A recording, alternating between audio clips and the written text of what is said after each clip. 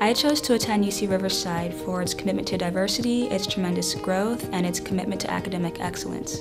I found a family, welcoming environment and atmosphere that I can connect with on a personal level to become a better researcher and scientist for my community.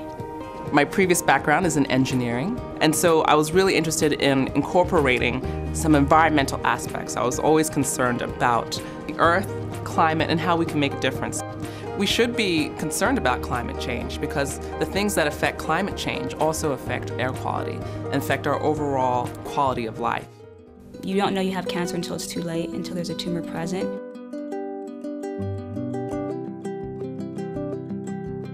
Tumor formation can lead to cancer development, and diagnosing this early on can help us save lives.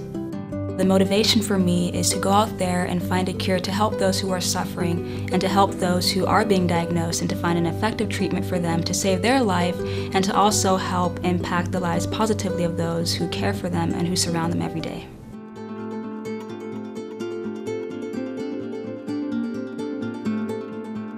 Currently, I am a National Science Foundation Graduate Research Fellow, and being a fellow has given me the tremendous opportunity to explore my own creative interests with the support of a faculty mentor.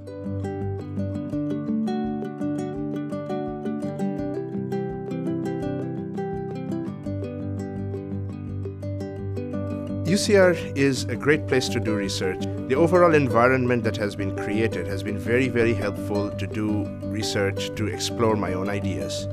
I have been lucky to have some excellent students who have worked with me and I've received excellent support from the staff and without them this research would not have been possible.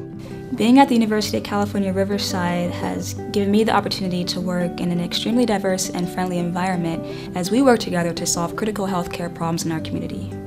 Once you step on the campus, you'll feel a sense of belonging here. No matter what background or ethnicity or socioeconomic status you're from, I can guarantee you, you'll have a family on the campus.